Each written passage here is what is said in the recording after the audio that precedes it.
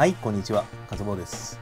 今回からですね、もうね、これね、スーファミ版のドラゴンボール Z スーパーサイヤ伝説やっていきたいと思います。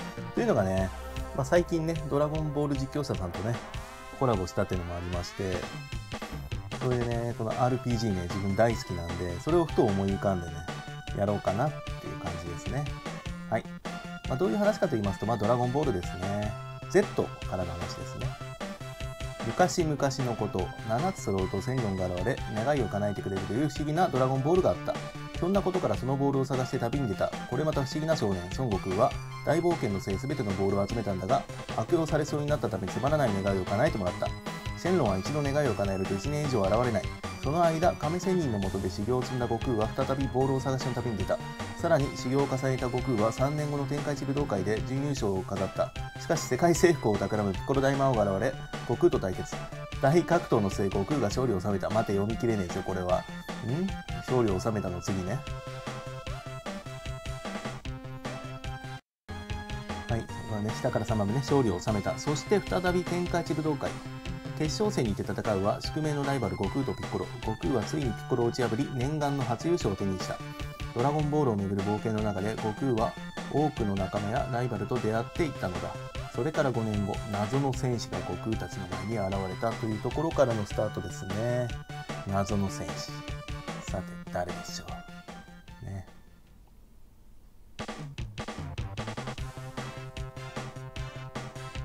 このタイトル画面でねあのボールの上にねミスターポポ現れたり右に神様出てきたりするのかな。なんかそんなのがあったと思うんだけど。突然やってきたサイヤ人ラディッツね。ラディッツからのスタートですね。悟空の兄を名乗り惑星を滅ぼすために悟空を仲間に引き入れようとする。圧倒的パワーの持ち主ラディッツに人質として連れ去られた悟空の息子孫悟飯を助け出せるか。地球の最強コンビである孫悟空とピコロ大魔王2人が凶悪なサイヤ人に挑む。まあサイヤ人がね初登場したところの話。ああ懐かしい。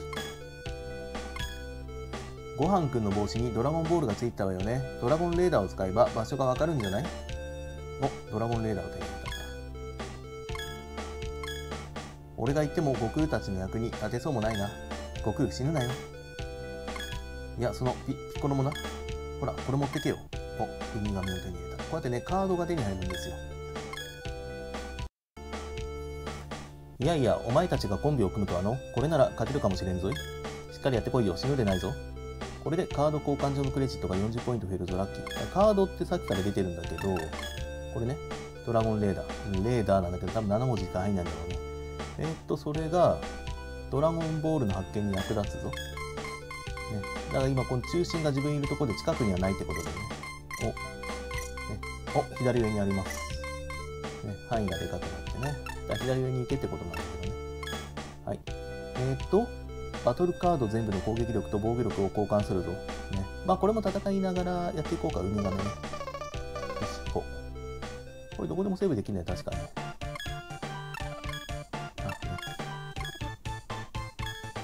まあこんな感じで。で、歩いていけんだけど、このゲームはね、ドラゴンボールはね、飛べるんですよ。この方々。どうだなんだっけ。あ、この高速移動もできるんだけど、そうすると敵に発見されやすくなるのかな。だから空を飛ぶってことは気を気を使うんですよね。まあ、このドラゴンボールの世界には気というものがあって、その気を使うとね、敵からね、まあ、見つかりやすくなるっていうね。おお、そうか。BP 戦闘力だね。悟空416、ピコロ408ね。原作通りだよね。あの重い道着とか取ったらこんな数値になったと思うんだけど、それでマニュアルとかオートがあるんだけど、まあ、あのオートでもね、まあ、勝手に動いたりはするんだけど、悟空がこの神って書いてるじゃないですか、顔の下に。なんかこう神とかね、気合をためて一気に攻撃が。だからその属性みたいな感じかな。属性っていうか相性っていうかね。おー、これでいいか。悟空の気が上がってる。一撃。お、ブルマ。ブルマは、まあちょっと HP を、あれかな。まあ回復する感じかな。じゃちょこちょこ落とすと思うんですけどね。まあ普通に飛んでるとあんま敵に見つかりづらいかなっていう感じはするんだけど。おえっ、ー、とね、まあ技使っちゃうか。ね、カメハメハとか、カイワレマン、キューコンマン。キューコンマン、ちょっと強いかな。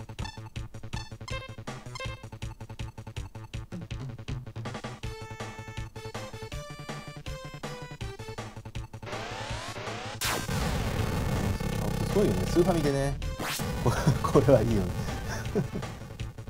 RPG なんでね。アクションとかじゃなくて、自分 RPG の方がどっちかといえば得意なんだ。お、32。32でどんぐらい減ってんのかだよね。お、あんだけ減ってる。だから40くらいあるんじゃないかな、HP。倒した時にちょ見れなくなっちゃうんですよ、このゲーム。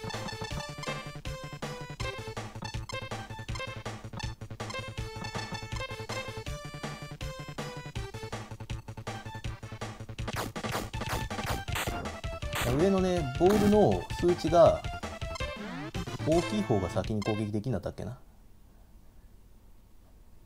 なんかそんなんだったと思いますけど。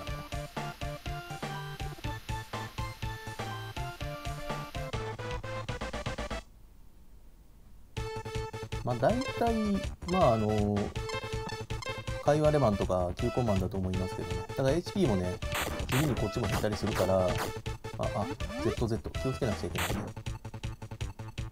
下が防御力かな。だからレベルをもうちょっと上げたいところですけどね。家かなんかあったような気がするんだけど、この辺り。あ、あったあった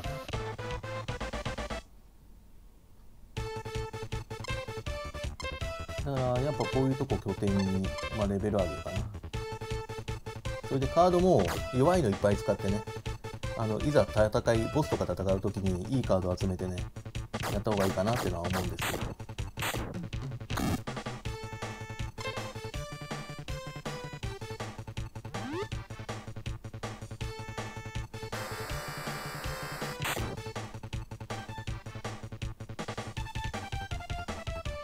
まあそう簡単には落ちないんで。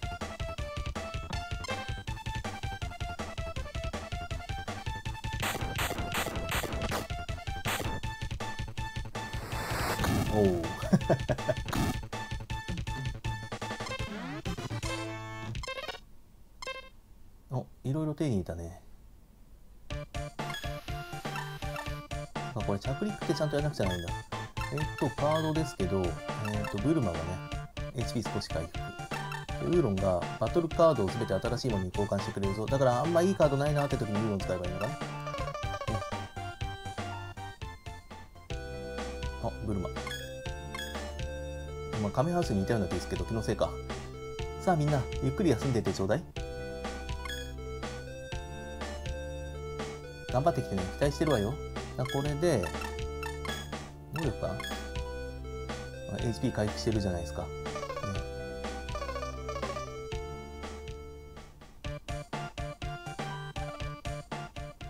まあ RPG ですからね。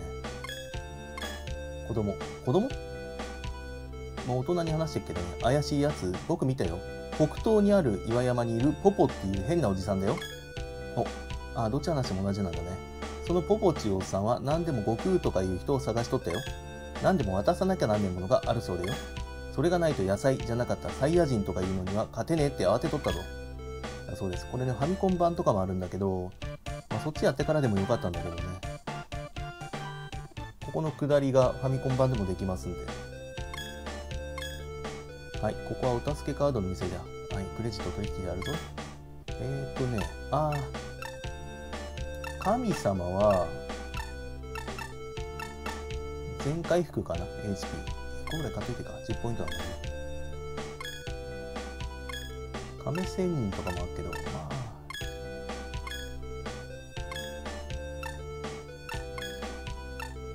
シェンロンとかってキャラすんだっけ？なんだっけな？ちょっと忘れちゃいましたけど。これ HP 全開ね。これかなり回復か。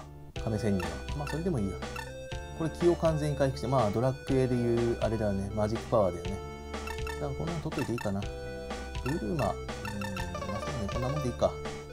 これでブルマを拠点にして、まあ、レベル上げればいいんだけどまあさすがに1だもんね今ねこうやって飛んでればすぐ敵出てくるからまあ探索しながらでもいいかなあ洞窟があったね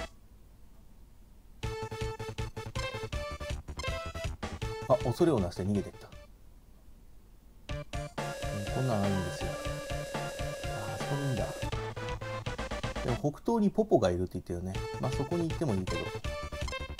あ逃げなかったもう大飛びいいや。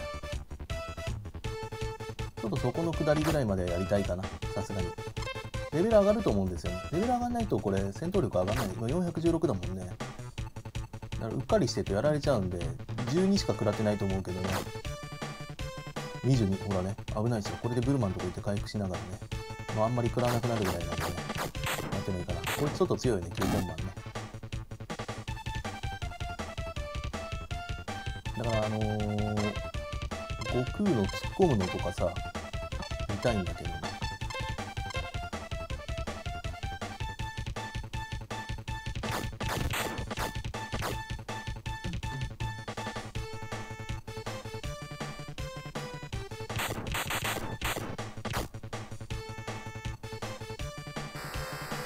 これが味方が突っ込むとすごいドアップになってグラドラッグのグラフィックが見れるんですよ。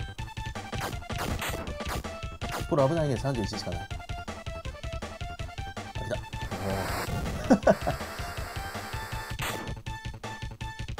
ね追加ダメージいいよね。だからこれ危ないからね。一回戻ってレベル上がるまで頑張ろうか。もういったでしょさすがに。9コマ強いな。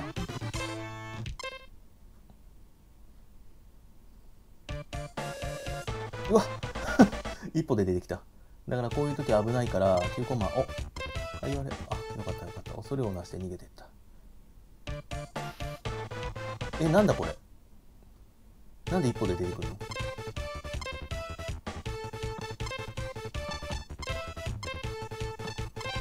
これなんか Y ボタン2回押すと敵出てこなくなる裏技とかあったような気するんだけど。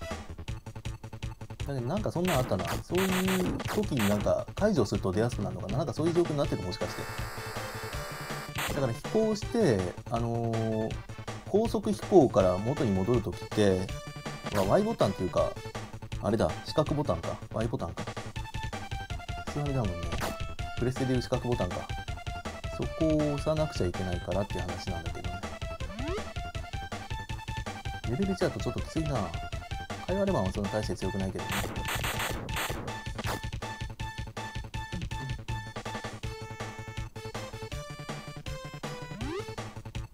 まあ、なるべくちょっとまたねいつも通りねまあ隠しの敵とかねそんなのも出したいかなとは思ってるんだけどね。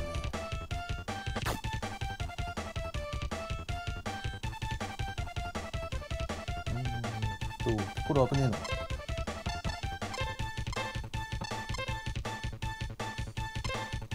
だから魔漢光サポを使えるけど魔法法でいいよまあ今度またね、使いたいからね、それはね。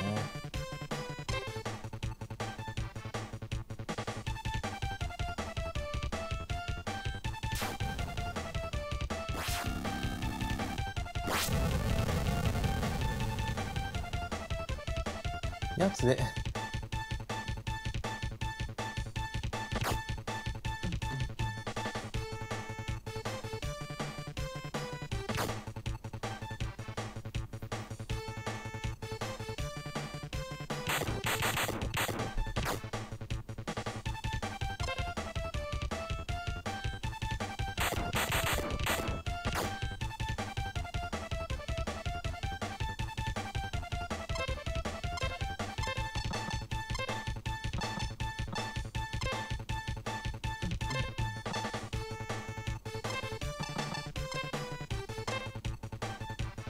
全員まとめて相手にして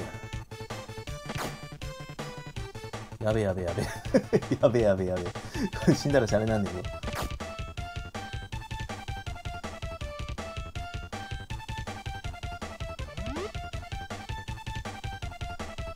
1回の戦闘結構長いよね。だから今後カットしますね。まあこんな戦闘がずっと続いてると思ってくださればいいかなと思います。まあ、技とかも全部見てないんで、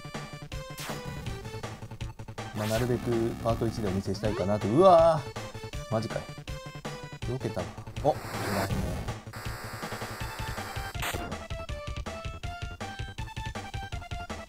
こんな1で勝てるわけねえんだ。危ねえ危ねえ危ねえ。20は？試せんよ、ね、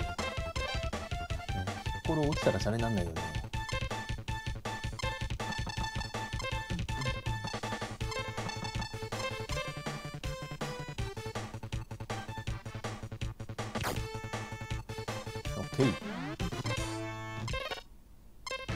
あ。レベル上がりました。レベル2になりましたね。やっとなりましたね。2になったということでえー、っとメニューあー戦闘力があのー、悟空が416だったんですよ。でピッコロが408だったんだけどあレベル上がると戦闘力が上がる感じかこれ。そうだったっけ？ああ、そうか、敵の経験値が加算されていくわけじゃないんだっけ、これって。で、完全回復してるね、いつの間にかね。だ、なんか手に入れたカードとかあるし、まあ、ここだろうな。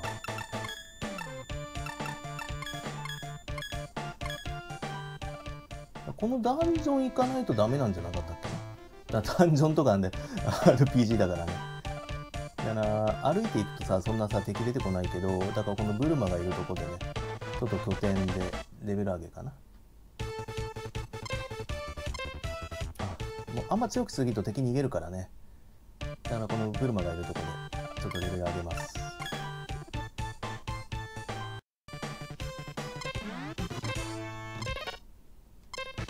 お3になった。亀仙人でななんかいろいろねやっぱカードが手に入るんでいいっすよね。結構戦ったんですけどミスターポップ、ね。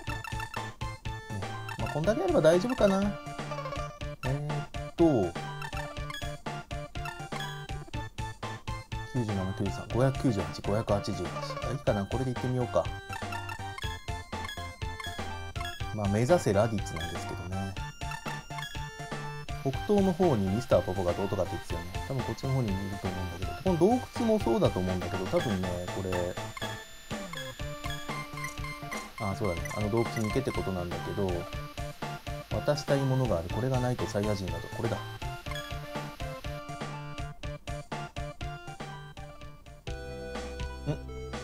ミスターポポ。おお孫悟空ピコロ気をつけろ。ギギギギギギ。化け物どもがズタズタにしてやるぜ。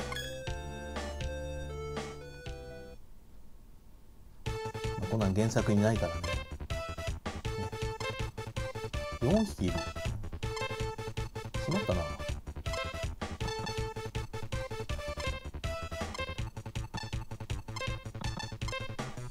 お全部まとめて相手してやる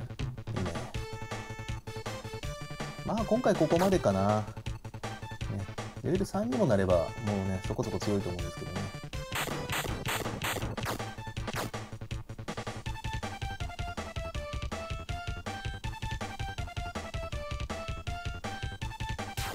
頭かなエネルギー波だから危ないっすよね。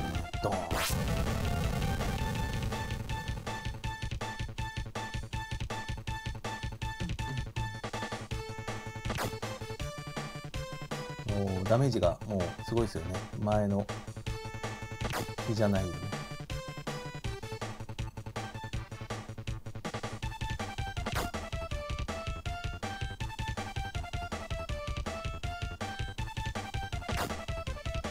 まあ原作で見たことないようないっぱい出てくると思いますんでね。やっぱそういうのも楽しみですよね。このゲーム本当に面白いの出てくるんですよ。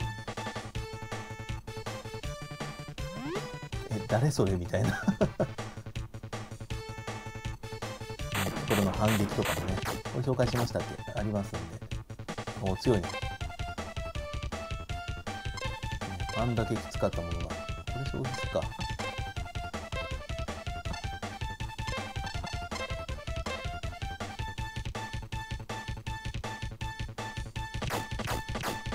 戦闘が結構長いんですよね。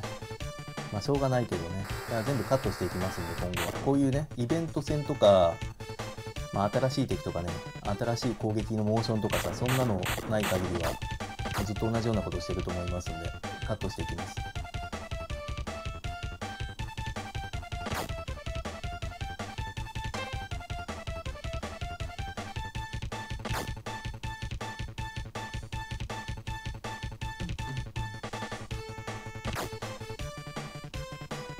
いいね、ふって消えるこれファミコン版だとピューンって落っこっていくんですよ、まあ、それはそれで面白いんですけどね、またこっちのゲームでは味わえないものが味わえるんで。ただね、ちょっと面白いゲームも見つけたんで、そっちもね、やってみようかなと、とは思ってるんですよね。いろんな RPG が見れるチャンネルを目指してるっていうのもありますんで。うーん、まあ弱いカード使っちゃうか。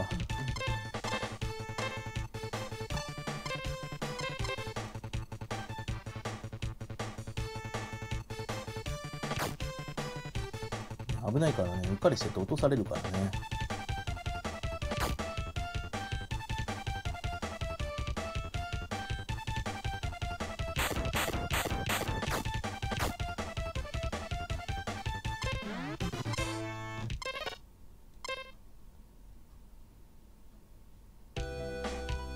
神様の伝言あってきたけど、こいつらに捕まってしまった。助けてくれて嬉しい。ね。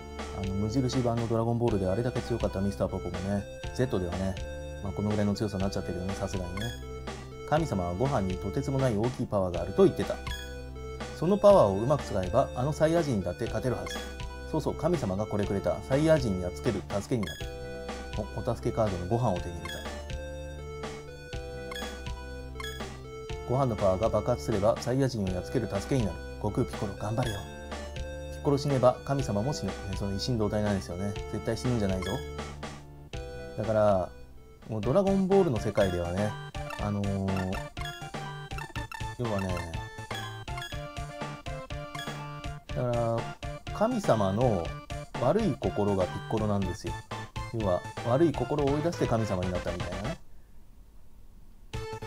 だから一心同体だから、だからあのピッコロが死ねば神様も死ぬし、神様が死ねばね、ピッコロも死ぬんですよね。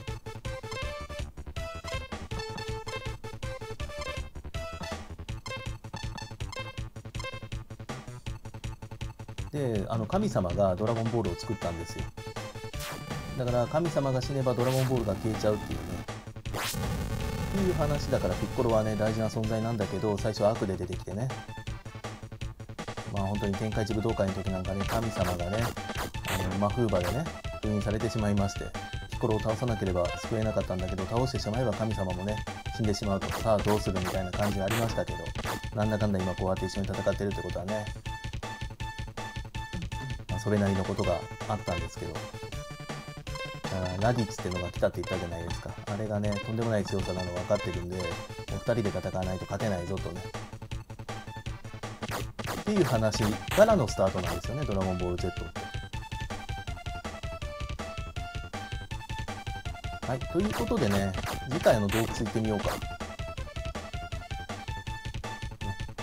もう1レベルだけ上げとこうかな、フルマンとか。